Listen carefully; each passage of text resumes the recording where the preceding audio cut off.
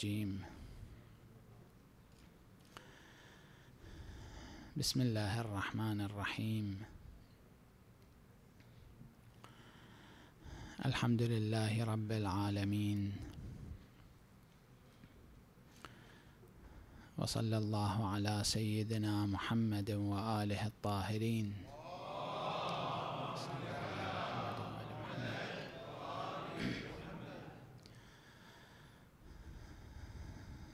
ولعنة الله على أعدائهم أجمعين إلى يوم الدين.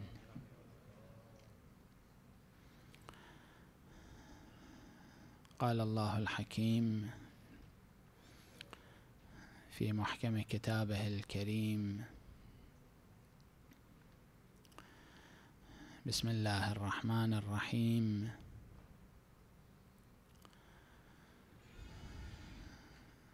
أفأمنوا مكر الله؟ فلا يأمن مكر الله إلا القوم الخاسرون.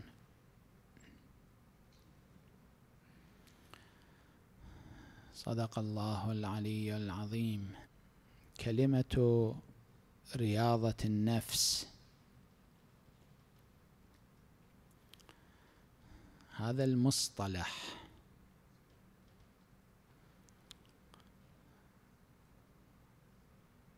هل هو مصطلح وارد في الأحاديث الشريفة أم مصطلح جديد؟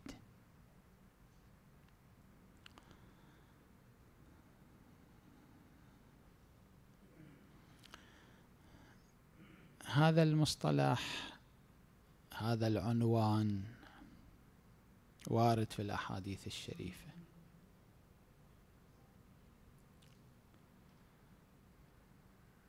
المولى أمير المؤمنين صلوات الله وسلامه عليه. في كتابه إلى عثمان بن حنيف الأنصاري وكان واليه على البصرة. في مقطع من هذا الكتاب يقول وإنما هي نفسي أروضها بالتالي التقوى رياضة النفس. لتأتي آمنة يوم الخوف الأكبر وتثبت على جوانب المزلق.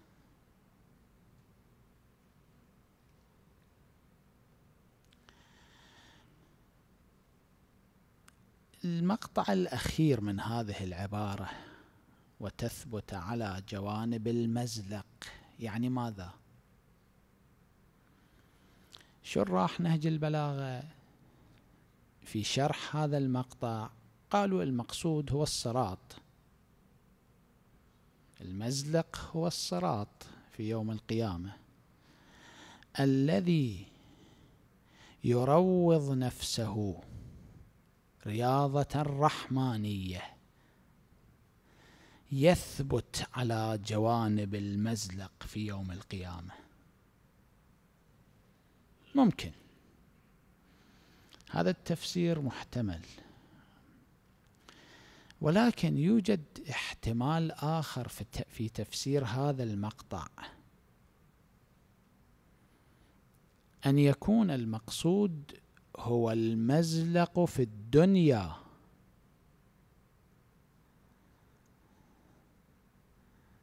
الذي يروض نفسه رياضة الرحمانية يثبت على جوانب المزلق في الدنيا. لا تزل قدمه في الدنيا.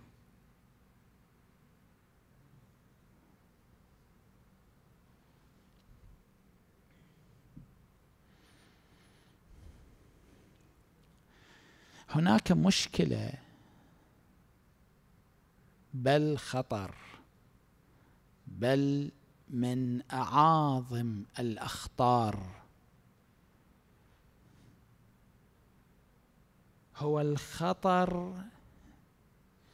بإحساس الأمن.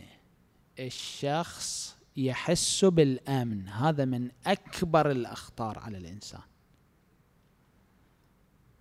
يحس بانه ليس في خطر. الإحساس بعدم الخطر من أكابر الأخطار.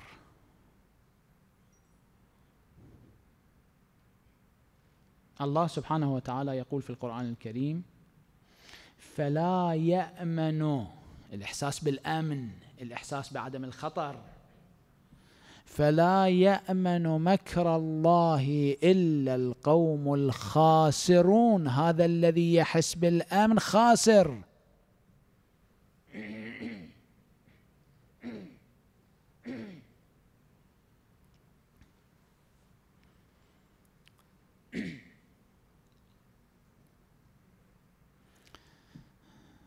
الكلام ليس عن ناس بعيدين عنا. بعضنا يحس بالامن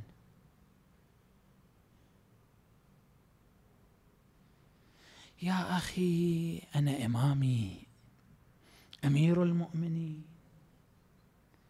شفيعي سيد الشهداء. الذي يرعاني هو صاحب الأمر حجة الله على الخلائق في هذا العصر اللهم صل على محمد وآل محمد. الذي عنده إمام مثل أمير المؤمنين عنده الشفيع مثل سيد الشهداء عنده من يرعاه مثل صاحب الأمر صلوات الله عليهم. يخاف؟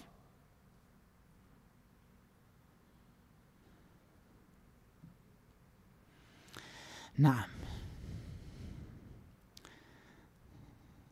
أمير المؤمنين صلوات الله عليه يبقى لك إن بقيت له. هو كريم.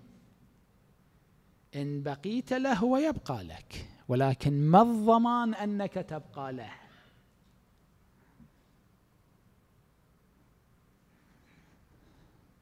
عندك ضمان أنك تبقى لأمير المؤمنين حتى يبقى لك؟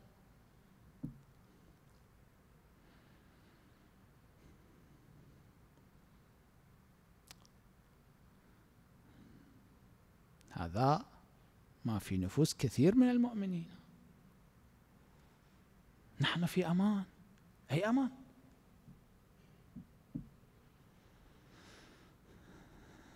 نسينا الزبير.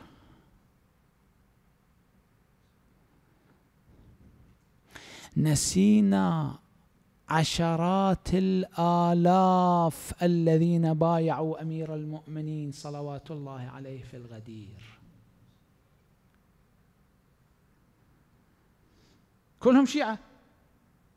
الذي يبايع أمير المؤمنين عليه أمير المؤمنين عليه الصلاة والسلام بالولاية هذا شيعي أم لا؟ أصلا شنو معنى الشيعي؟ قل شاطر منهم كانوا منافقين. عشرة بالمئة منهم كانوا منافقين. مثلا ولعله العدد أقل من هذا. تسعون بالمئة ما كانوا منافقين. مئة وعشرون ألف شخص أو أكثر كما يظهر من بعض التواريخ. مضى سبعون يوما فقط. كم شخصا بقي لأمير المؤمنين؟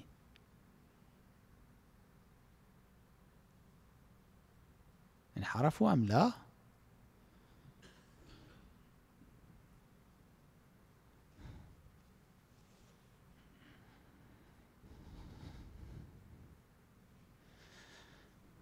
الذين جاءوا مع سيد الشهداء صلوات الله عليه إلى كربلاء. ثم قبل القتال قبل الحرب فروا. من كان هؤلاء؟ كانوا على الجادة أم لا؟ كم منهم فر؟ كم منهم هرب؟ عشرات بل مئات. جماعات جماعات ذهبوا. لا أنقل لكم تاريخا إلى يومنا هذا. كم من الناس على مر العصور انحرفوا بعد أن كانوا على الجادة كانوا على الطريق الصحيح على الصراط المستقيم.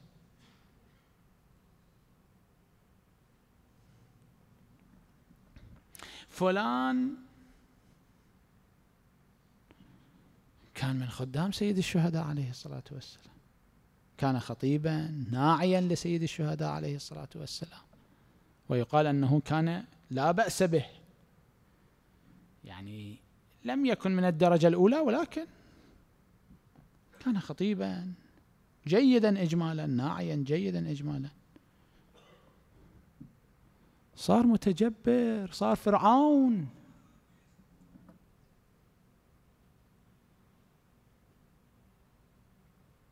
هو أيضا كان يقول أنا على الجادة. هو أيضا كان يقول أنا عندي أمير المؤمنين. صلوات الله عليه. عنه فقط؟ لا نحن كل واحد منا. يا أخي عندنا أعداء يقظون لا يغفلون عنا نصف ثانية. لا أقول ثانية. مع هذا الإنسان يكون يحس بأمن. هذا جهل أم لا؟ أي جهل هذا؟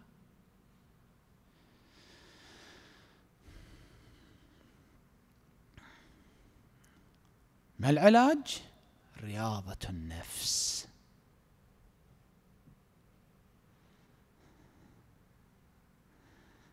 رياضة النفس يعني ماذا؟ يعني أن يكون الإنسان حذرا نبيها على مر الخط. يعني إذا غفلت لحظة واحدة أحيانا بعيد عنكم إن شاء الله تعالى. يذهب الشخص خلاص.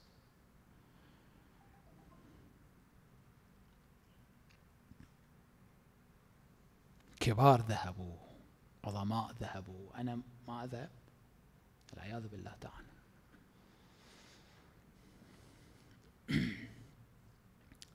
عندما يستيقظ الإنسان على صوت المنبه لصلاة الفجر لصلاة الصبح أو حتى لصلاة الليل هنا يأتيك الشيطان. النوم العميق في مجال بعد ساعة باقي. صلاة الليل ليست واجبة إن شاء الله أقضيها.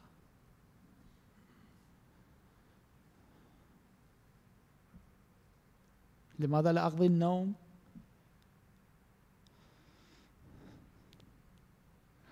بدون منطق ولكن شيطان النفس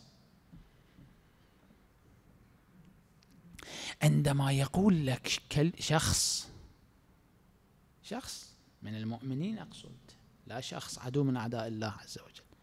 من المؤمنين شخص قال لك كلمة نابية زوجتك قالت لك كلمة نابية. زوجك قال لك كلمة نابية صديقك. هنا يأتيك الشيطان يثير قوة الغضب. تتمكن أن ترد؟ بأشد منه. هذا مزلق أم لا؟ عندما يتمكن الإنسان أن يؤذي إيذاء محرما قصدي الخادم الخادمة عندما تتمكن أن تضرب طفلا طفلا صغيرا لا يضرب تضربه تشفيا لأنه يؤذيك لأنه يصرخ لأنه يبكي أكثر من اللازم. ولا أحد يعرف أنت والطفل. الطفل ما عنده لسان يقول. عندما تتمكن أن تتجسس على الناس ولا أحد يعرف. في هذه المزالق ما الذي يجعلك لا تزل قدمك؟ وإنما هي نفسي أروضها بالتقوى لتأتي آمنة يوم الخوف الأكبر وتثبت على جوانب المزلق. الرياضة عندما تكون رياضة رحمانية طبعا لا الرياضات المنتشرة اليوم رياضات شيطانية. عروضها بالتقوى. هنا قدمك لا تزل الدنيا جدا عجيبة. يوم تاسوعاء وليلة عاشوراء. عشرات لعلي أقول مئات ممن كان في معسكر سيد الشهداء عليه الصلاة والسلام. ذهبوا. ذهبوا في طريقه. في نفس تلك الليلة من معسكر الشيطان معسكر يزيد بن معاوية عليه لعائن الله تترى أبد الآبدين. أشد أسوأ أجلكم الله أجلكم الله أقذر معسكر للشيطان على تاريخ في تاريخ البشر. من ذلك المعسكر؟ الشيطاني.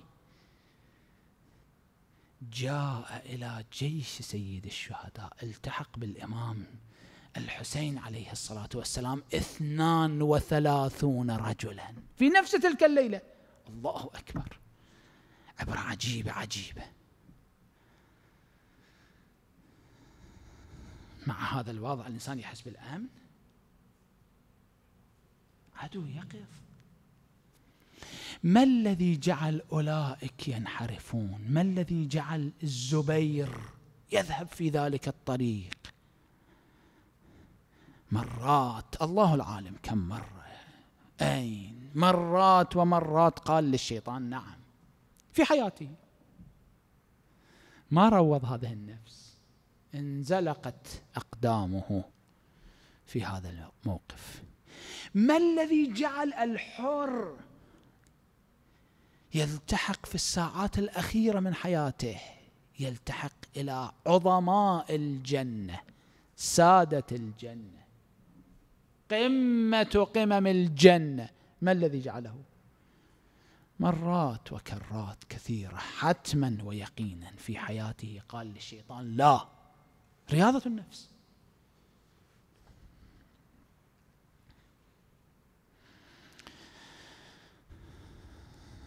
أفأمنوا مكر الله؟ فلا يأمن مكر الله إلا القوم الخاسرون. وإنما هي نفسي أروضها بالتقوى لتأتي آمنة يوم الخوف الأكبر وتثبت على جوانب المزلق. في نفس هذا الكتاب العظيم كتاب رائع جدا من روائع نهج البلاغة. كتاب المولى صلوات الله عليه إلى عثمان بن حنيف. في أواخره الإمام صلوات الله عليه يقول وأيم الله يعني قسما بالله وأيم الله يمينا أستثني فيها بمشيئة الله لأروضن نفسي رياضة تهش معها إلى القرص إذا قدرت عليه مطعوما وتقنع بالملح مأدوما. الله ما أروعها من عبارة هذه العبارة حقا تحتاج إلى وقفة لعل لنا وقفة عند هذه العبارة إن شاء الله تعالى. هذه العبارة توضح كيف يتمكن الإنسان الذي يروض نفسه من الا تزل قدمه في جوانب المزلق. هذا المقطع يكشف جدا جميل ورائع وفي نفس الوقت عظيم وعميق. هذان اليومان اليوم وغد.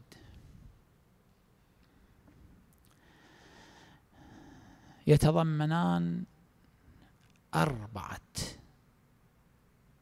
أو أربع مناسبات عظيمة خلدها القرآن الكريم لأهل البيت صلوات الله عليهم أولا قضية المباهلة العظمى ونزول آية المباهلة التي هي من أعظم فضائل أهل البيت عليهم الصلاة والسلام في القرآن الكريم. بل هي أعظم وأفضل فضيلة لأمير المؤمنين عليه الصلاة والسلام بالخصوص في القرآن الكريم. لأن الآية جعلت أمير المؤمنين نفس رسول الله صلى الله عليه وآله. اللهم صل على محمد. ونزول آية الولاية عندما تصدق المولى أمير المؤمنين صلوات الله عليه بخاتمه في الركوع والتي هي من أوضح الآيات القرآنية في إثبات ولاية أمير المؤمنين صلوات الله عليه حيث جعلتها بعد ولاية الله ورسوله مباشرة. ثالثا نزول آية التطهير. تعلمون آية التطهير نزلت في حياة النبي صلى الله عليه وآله مرارا وتكرارا. إحداها في مثل هذا اليوم. ورابعا نزول ثمان عشرة آية قرآنية من سورة هل أتى سورة الإنسان؟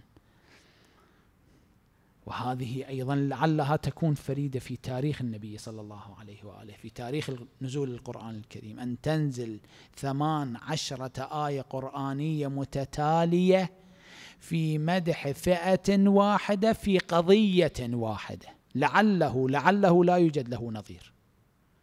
تنزل هذا هذا العدد من الآيات القرآنية ينزل في قضية واحدة لفئة واحدة.